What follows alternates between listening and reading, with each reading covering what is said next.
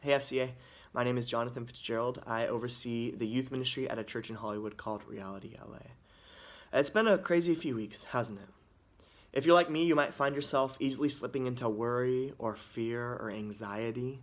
Uh, you might be asking questions like, what happens if I get COVID 19? Or uh, what happens if somebody that I love uh, or, or a family member gets COVID 19 and they're vulnerable to it?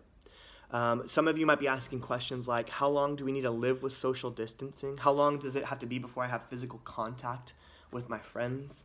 And for others of you, you're just thinking about the future, asking, What is life even going to look like when this is all over?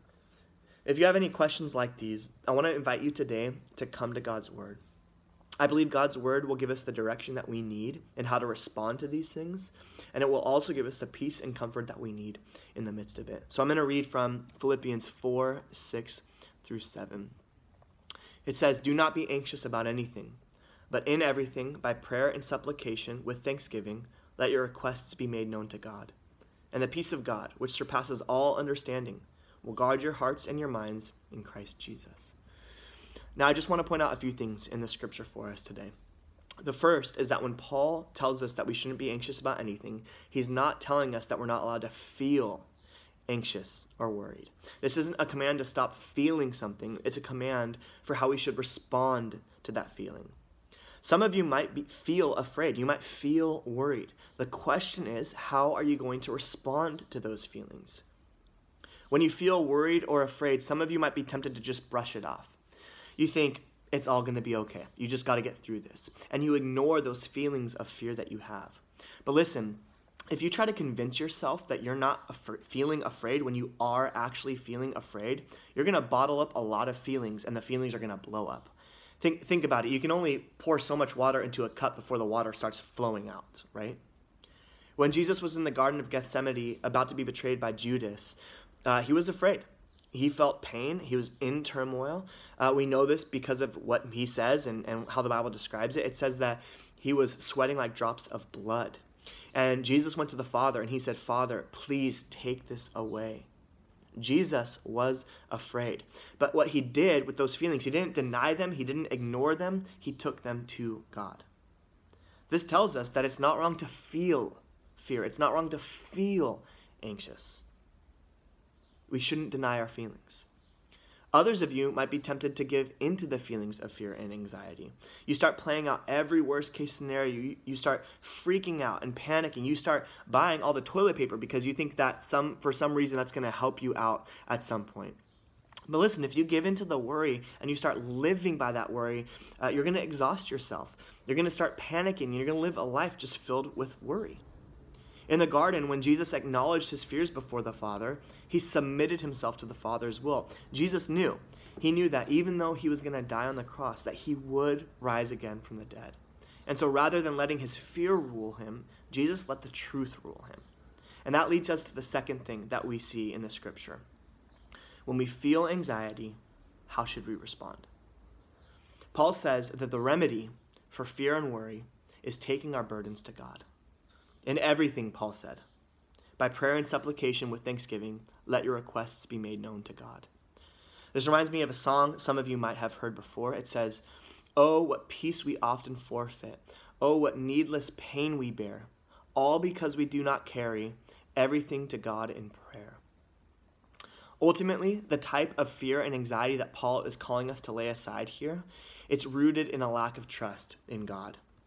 We live in worry when we forget God's promises. Uh, we live in worry when we forget that God is watching over us.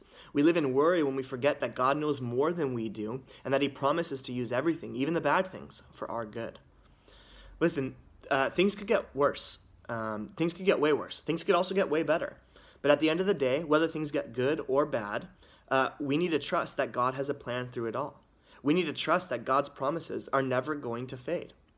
So I want to just take a minute here and I want to remind you of some of God's promises for you to help you fight against your worries. Okay?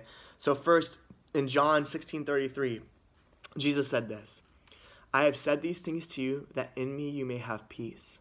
In the world you will have tribulation, but take heart, I have overcome the world.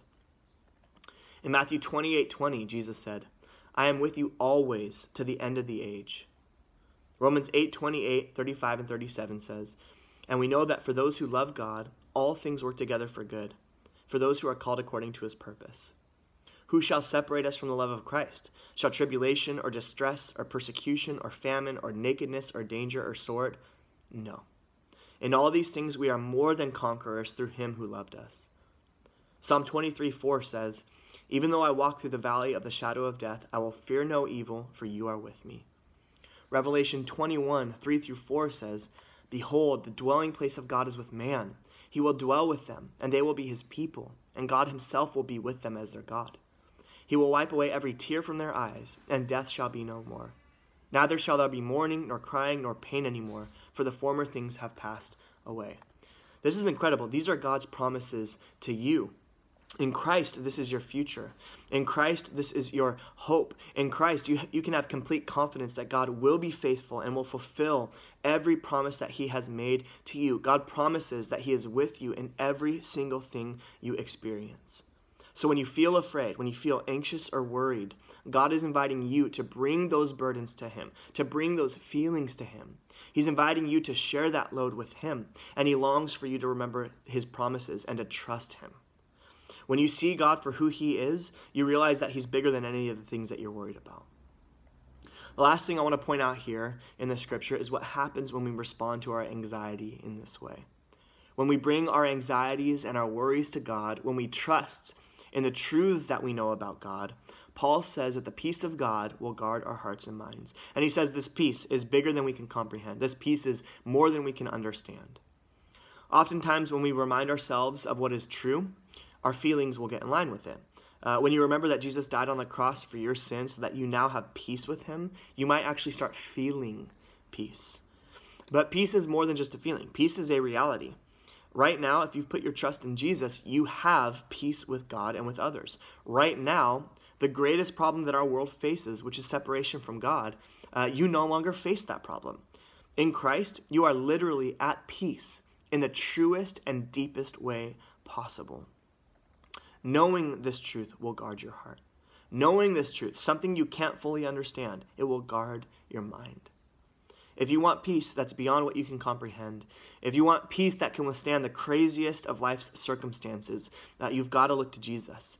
He's the only one who died for your sin. He's the only person who rose from the dead, never to die again. Uh, he's the only one who can give you the hope that you need in this life and in the life to come. Nothing else can give you peace like Jesus because nobody else has done what Jesus has done for you. So, whether you follow Jesus for years or you're just thinking about it now, I invite you to look to Jesus. In the midst of your fear, in the midst of your anxiety, He longs for you to bring those things to Him and to experience the peace that only He can offer you. God bless you guys.